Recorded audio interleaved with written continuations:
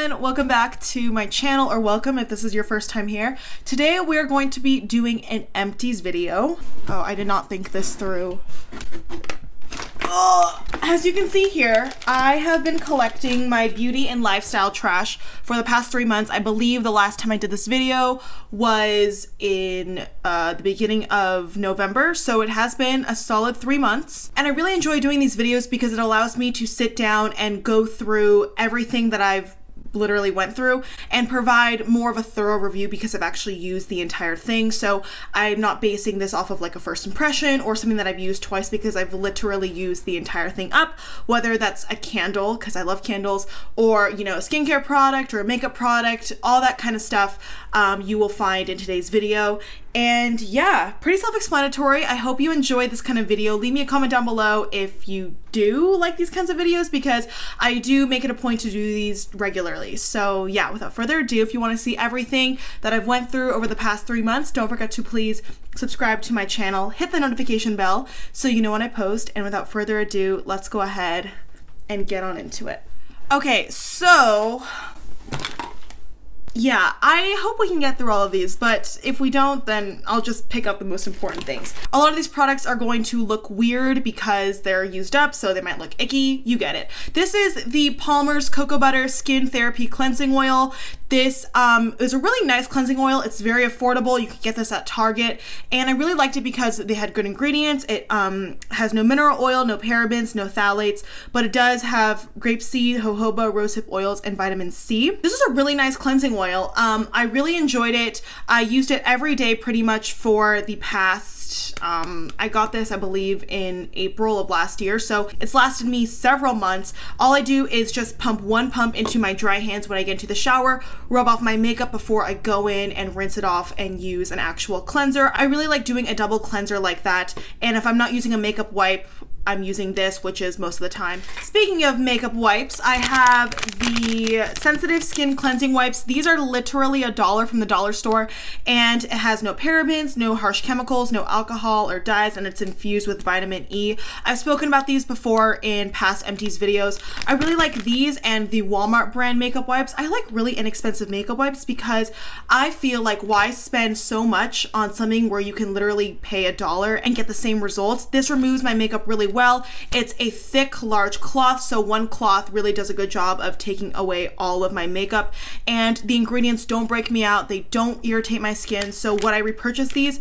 Yes, I would. I just currently have four of the Walmart brand wipes I'm using right now. So once I go through those, I will repurchase these maybe, and um, they're great. Honestly, a dollar at the Dollar Tree, you cannot go wrong. They don't irritate my skin, so this is an A+. plus. I have quite a few Bath & Body Works products to share with you. I'm just gonna go through these two hand soaps. Um, these were like my fall hand soaps. I use this in my bathroom and this is my kitchen. This is the afternoon apple picking gentle exfoliating hand soap. I loved this scent so much. It was very fresh and I love the way that it was very um, clean and crisp to use like in my kitchen. I'm just weird with that kind of thing. I really enjoyed it. Um, I do Bath & Body Works videos like once every season. I do a haul typically, so I will link those down below if you want to see everything that I've hauled from there, including these. And I also loved the coconut pumpkin latte. This smells like a coconut pumpkin latte. It's very warm, it's very comforting, it's very nourishing, and the formula itself is very nice. The notes in this are coconut cream, whipped pumpkin, and warm praline, and it has pumpkin butter. So to me, all of those notes are very delicious, and I really enjoyed these. And would I repurchase? Yes, I love these hand soaps. They're pretty much the only hand soaps I buy right now um, because I love the scents, I love the packaging, and they leave my hands feeling really soft. I went through this almond, well, I mean, it's kind of dripping here, but it's only because it's been sitting like this. This is the almond and vanilla um, shower gel with natural almond oil from Bath & Body Works.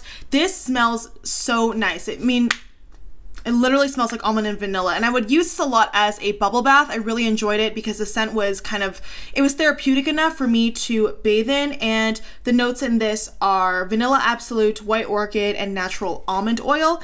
I love these shower gels. They're the only shower gels I use. Pretty much a lot of my bath products are from Bath & Body Works just because they have such a good variety of scents. The ingredients don't dry out my skin and I really enjoy the experience whenever I use them, as weird as that might sound. But yes, I highly recommend this if you're looking for something on the warmer side. I also went through the Vanilla Bean Noel body cream. I'm currently using the hand cream here. I love this scent. I don't have the candle surprisingly because I thought maybe the body products were enough for me. I really like the scent. It's a great seasonal Christmas scent. I know we're past that, which is why I'm showing you the stuff that I went through for the fall and winter time. This smells really, really nice. It truly smells like vanilla and marshmallow and that yumminess. It's really great and I recommend it. It's just, it's delicious, honestly. Okay, and while we're on Bath & Body Works products, let's just go through the candles that I went through because I do kind of like coming full circle after I do my hauls and show you what I went through and what I truly feel about them. I have gone through one, two, three, four, five, six, seven candles, um, and these are all pretty much fall candles. So this one up top is Sweater Weather. This is really, really nice. I really enjoyed this candle. It truly reminds me of just a crisp, cloudy, overcast day, as weird as that might sound. Um, the notes are very fresh. Wow, that just brought me right back. It's so weird, but also very nice how scents can just bring you back. That's one of my favorite things about candles and about scented things. They're kind of like memories in a jar. Um, this is really, really nice, very fresh. The autumn candle is similar. It has more of an apple note as opposed to a eucalyptusy note like this. But they're both very fresh candles and I enjoyed them a lot. This is the pumpkin peanut brittle. The throw in this is unbelievable. It is so powerful. If you're not into a super strong candle, you will not like this, but this truly smells like pumpkin peanut brittle. And it's funny because it reminds me when I smell this candle, it reminds me of the time where my shower wouldn't turn off. So I had to call a plumber and it was incredibly expensive because I didn't know my apartment offered free maintenance. So I was stupid and I called a plumber and my shower was just running for like an hour because the cartridge thing broke and this was the candle that was burnt. Anyway, you get it. This just reminds me of that, but it's a great scent nonetheless. Um, this is the winter candle. My friend actually bought this for me for Secret Santa, not this past Christmas, but the Christmas before, and I actually just recently finished burning it. Like, it truly reminds me of a winter day. It has that fresh kind of orange clementine pine needle note with a little bit of clove for that warmth. It's really nice. Marshmallow Fireside. Man, this is a candle that is a cult favorite.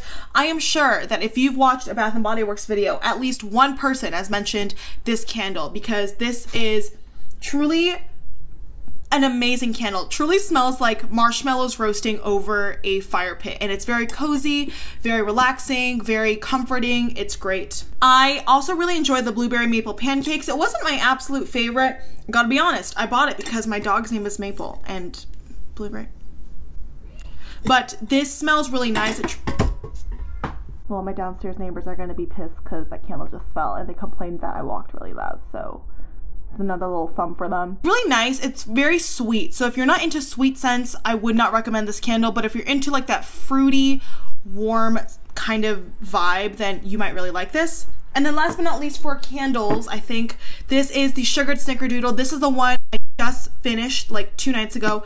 This is probably one of my all-time favorite scents. It's a new scent for me. I just purchased this like this past season. I hadn't purchased it any year prior, but this throw is unbelievable. It's kind of like the same amount of power as the pumpkin peanut brittle. The throw is like a 10 out of 10, but the scent is very light and warm and truly reminiscent of fresh baked cookies.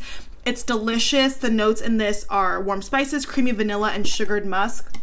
This is like one of my favorite things ever. Like it instantly puts me in a good mood. It's so relaxing, so comforting. I highly recommend picking this up if you ever see it again. It's so good. Is the fall uh, Bath & Body Works cream I went through. This is Marshmallow Pumpkin Latte.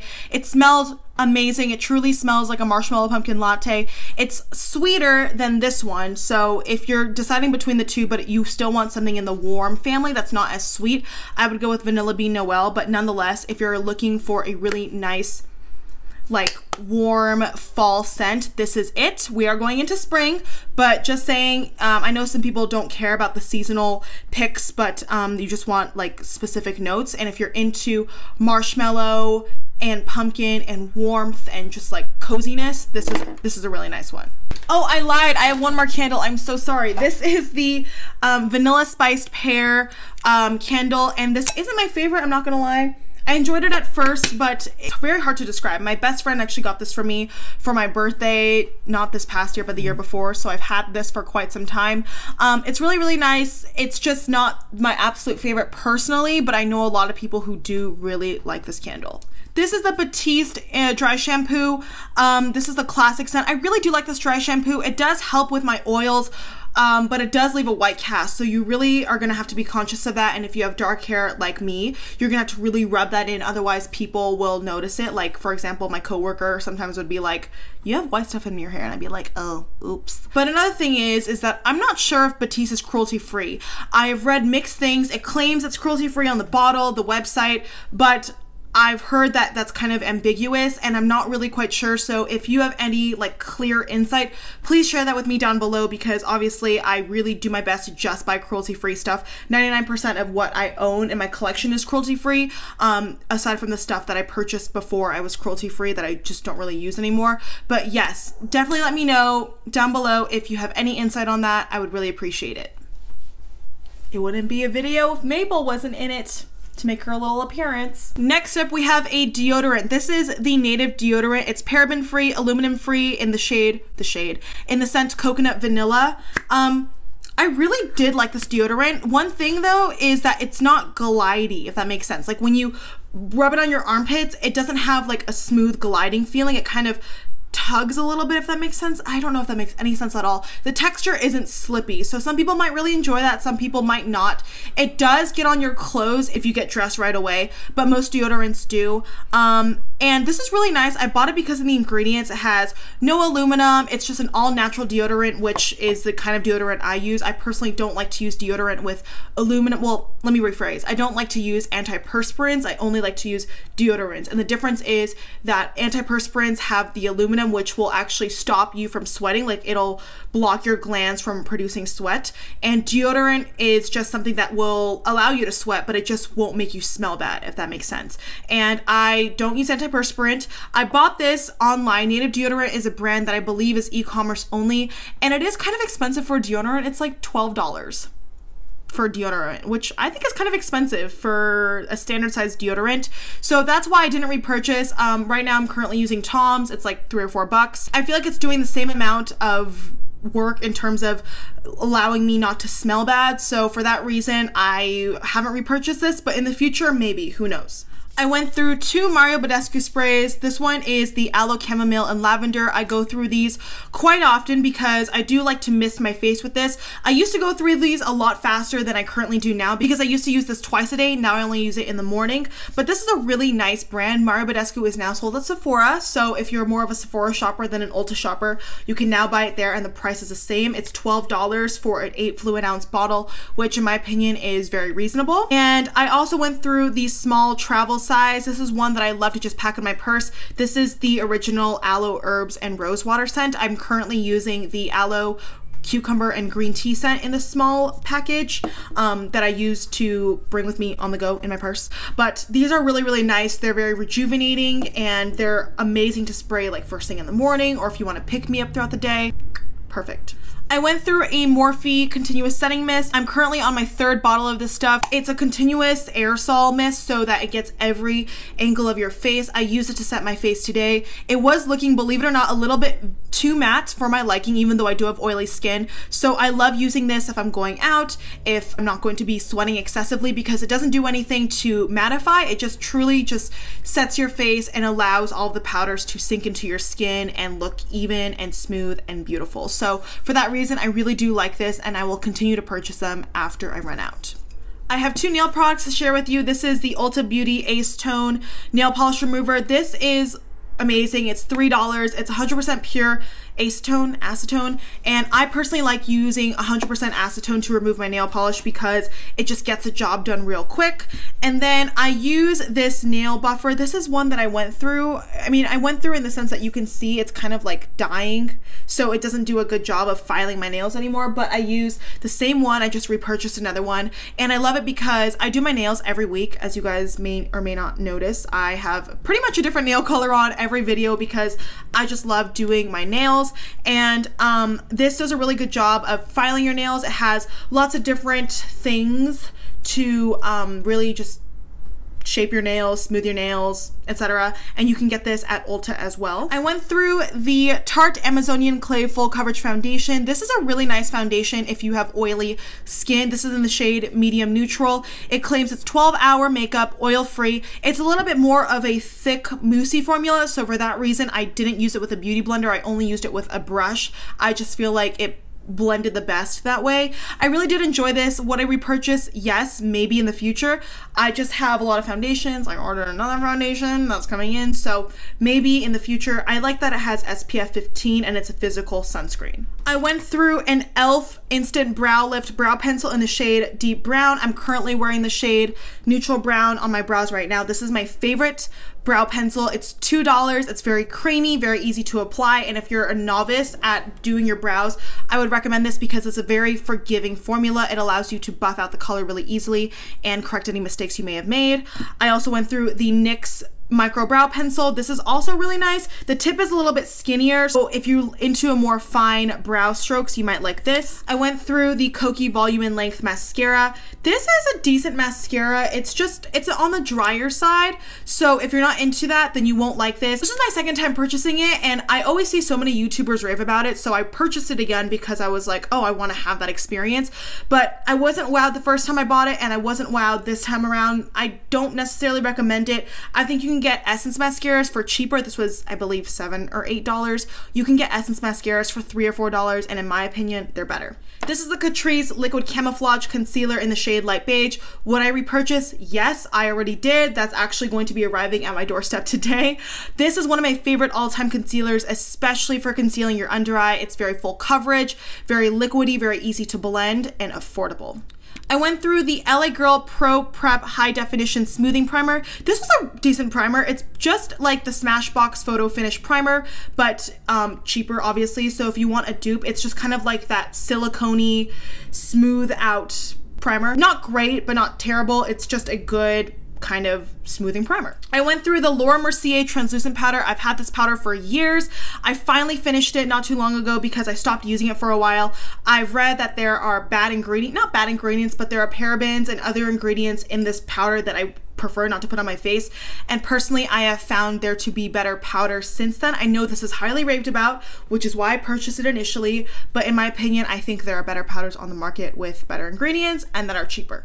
I also went through this ColourPop concealer in the shade medium 30. This is a really nice concealer. It's affordable. The only thing is, is that it does darken after you put it on, but it darkens immediately. So um, I would suggest if you're buying a shade, buy like one or two shades lighter than you think you would be because it'll probably darken to that correct shade. I also went through this Beauty Blender Solid Cleanser. This is just a bar soap with a little pad thing. Um, would I repurchase? I would, yes. This is actually a repurchased um, thing, but I actually just purchased the Ulta version because it was $6 cheaper. This is $16, and to me, it's great. It's like the best thing to clean your sponges and your brushes. To me, it's better than the liquid version, but what I, I, don't know if it's worth it yet for like just a plain little small bar of soap. So I did purchase a cheaper alternative. I will use that and then maybe let you know how I feel if this was better or not.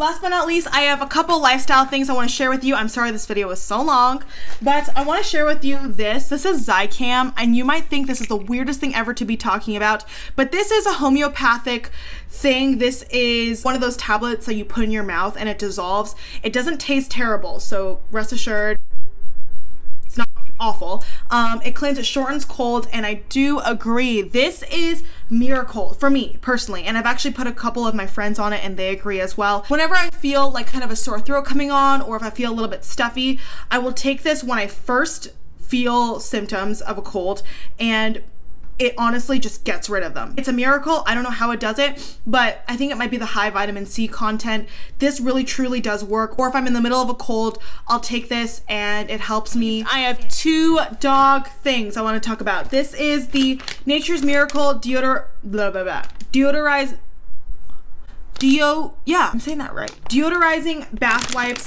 These are just wipes that I used on Maple um, after walks and stuff like that. They do a really good job, but the packaging is just very frustrating because it has this little like thingy thing and sometimes it wouldn't close. I don't know, but they're very affordable on Amazon on Amazon. And then I went through these Stella and Chewy's freeze dried raw coated biscuits. These are the beef recipes. She loves these.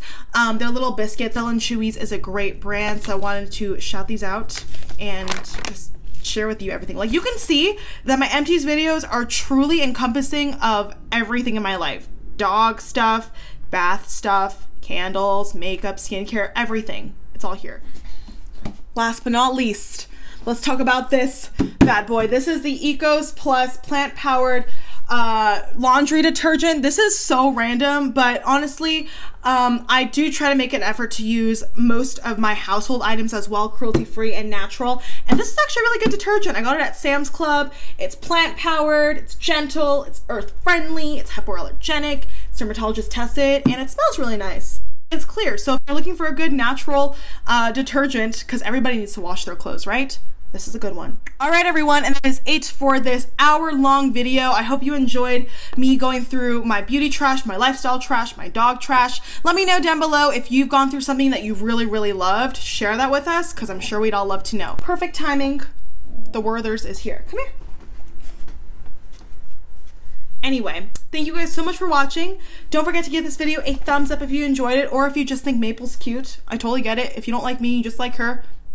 I get it. Yeah, thank you guys so much for watching. Hope you enjoyed it and hopefully I will see you in my next one. Mwah! Bye!